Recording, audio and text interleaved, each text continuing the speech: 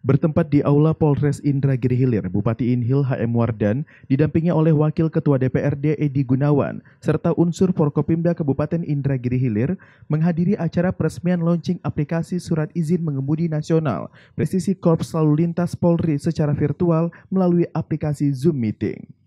Acara launching tersebut dibuka secara langsung oleh Kapolri, Listio Sigit Prabowo, didampingi oleh anggota Komisi 3 DPR RI, Ketua Ombudsman, dan diikuti secara virtual oleh Kapolda dan Kapolres, serta unsur Forkopimda seluruh Indonesia. Dalam sambutannya, Kapolri mengatakan peluncuran aplikasi merupakan sebuah perwujudan dari program kerja Kapolri, yaitu transformasi organisasi dan pelayanan publik ia juga menyampaikan Polri harus mengikuti perkembangan teknologi, termasuk di bidang lalu lintas yang sering berinteraksi dengan lingkungan masyarakat.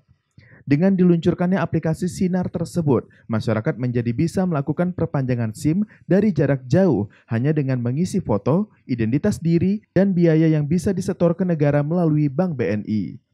bagi pemohon yang akan membuat dan memperpanjang SIM dapat diakses dengan mendownload aplikasi Sinar Polri melalui App Store dan Play Store di telepon seluler. Nadia Anggraini dan Surya Ardila melaporkan untuk Gemilang Televisi.